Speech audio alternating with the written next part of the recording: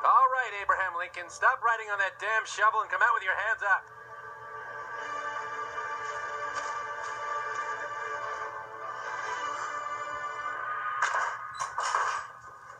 Oh, this is no big deal. It's how I get through every school day.